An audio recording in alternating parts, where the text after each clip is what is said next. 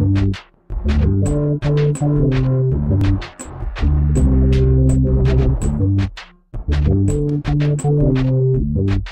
materials used in this project are available from Jameco Electronics.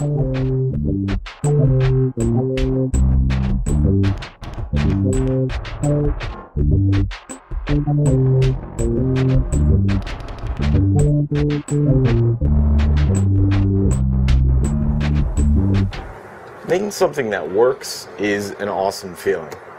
Making it easy to use and, well, cool looking ups the satisfaction level quite a bit. Plus, it makes your device that much easier to share with others who might not fully appreciate the hard work you put into constructing all the electronics. I like to look at interface design as both a science and an art. It's a balance between sensible ergonomic layout and some sweet retro sci-fi styling of a control panel or a patch bay.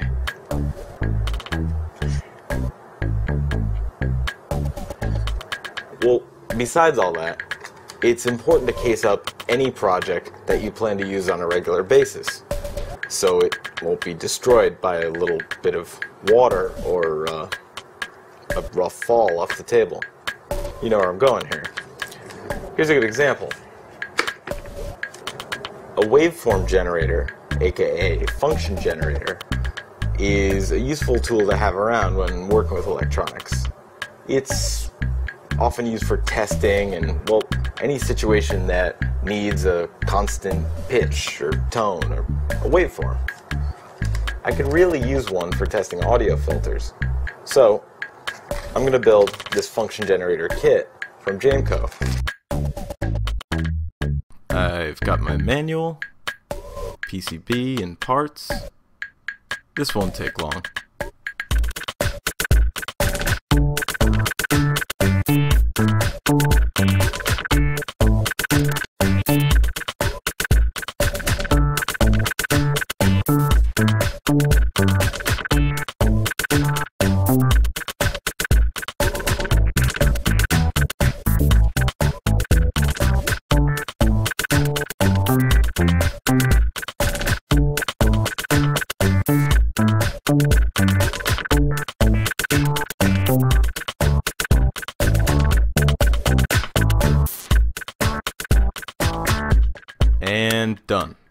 Yeah, that was quick. Once the board's fully assembled, I need to figure out how I want to wire all my off-board parts, the ones that'll be mounted in the enclosure.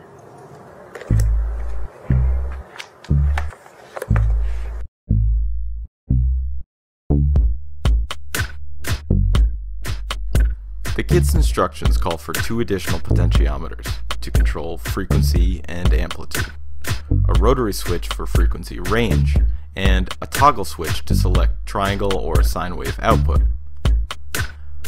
I'll also use a DC jack with a power switch and an LED to indicate when the box is turned on. Plus, I'll add jacks for connecting to signal outputs and the two control inputs. Yep, that's pretty much everything. Almost any suitably sized wooden or plastic box would work as an enclosure, even, say, a cigar box, which is all this guy really is. For my function generator, I settled on this basic black project box. It's sturdy, but it has thin plastic panels that are easy to drill and mount parts in. Planning my control layout is pretty simple using some of the actual hardware I'll be mounting later on. Deciding which layout I like best can be a bit tougher, but that'll work.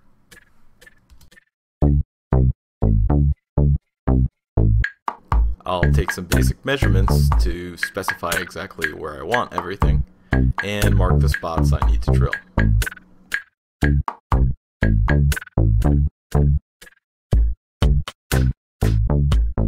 Not to forget holes for the PCB standoffs.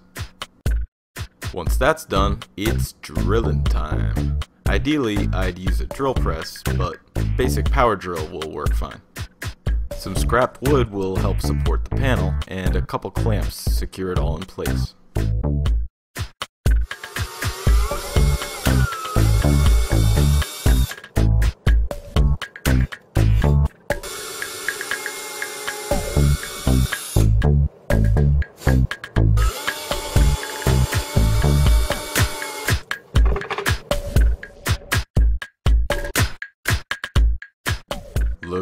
To me.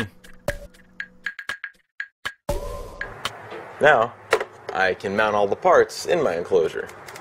You'll notice that the pots and rotary switch each have a little stabilizer post on them. I could drill small holes alongside their main holes to accommodate that stabilizer post, or I could simply pop it off with a pair of needle nose pliers, like so. Problem solved.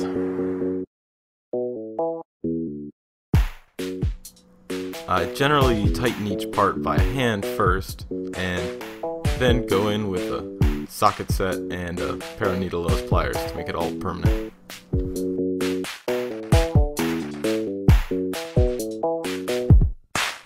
Just to be sure I don't get them confused, I'll measure and mark the value of each potentiometer. A multimeter's continuity function comes in handy for marking which connections to use on the rotary switch, because there's quite a few of them. And of course, if we're going to be wiring, we'll need some wire. 22 to 24 gauge stranded type wire works well for this sort of thing.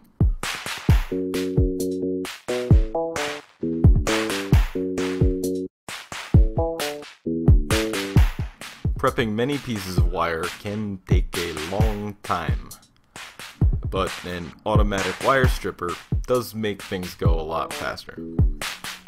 And the tip tinning process is a bit easier thanks to my helping hands tool. Don't mention it. I'm here to help. Remember to take breaks when working alone for long periods of time. Anyway.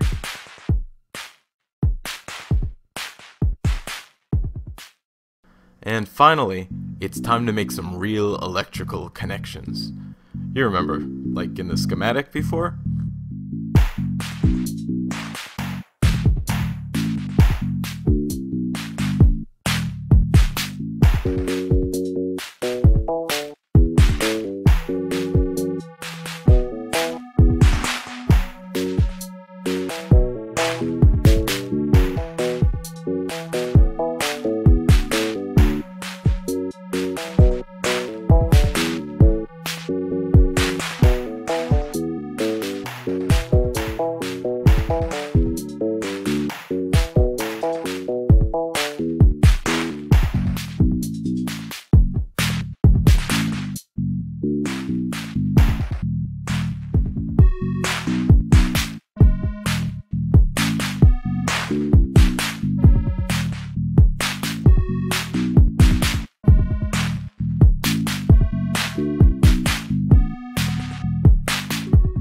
Once all the connections are made, a couple zip ties will keep these wires in check.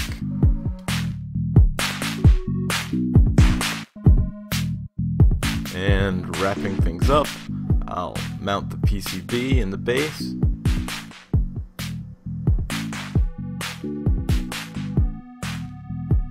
Close the case up, being careful not to catch any of those wires. Put in the screws and a few rubber feet, which are not chocolate, though they look like it. And last but certainly not least, the knobs, which are secured fairly easily using a small flathead screwdriver.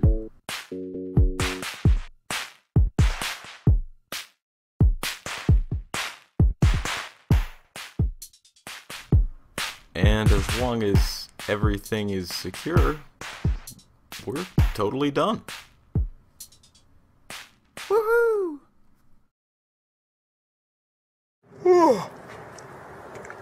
Excuse me. Alright then. Uh, pretty sure that's everything. Now, just to see if it works. It's probably a good idea to test it before sealing it up. But, makes no difference. Now, plug in my 12 volts, apply. LED turns on. That's always a good sign. Let's uh, see if it makes sound.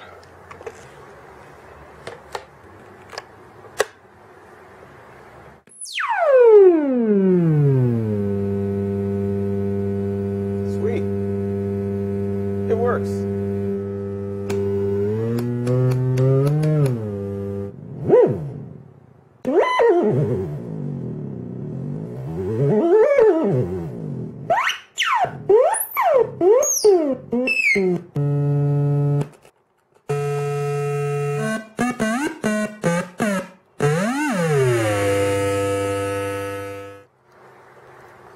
Well, that's cooler than I thought it would be.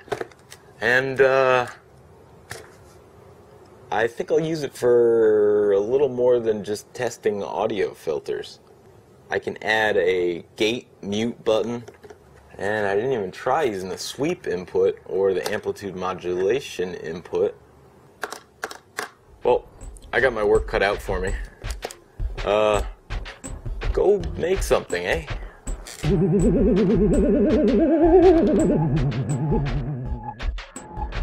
Care to build your own little tone box? You can with parts from Jameco Electronics.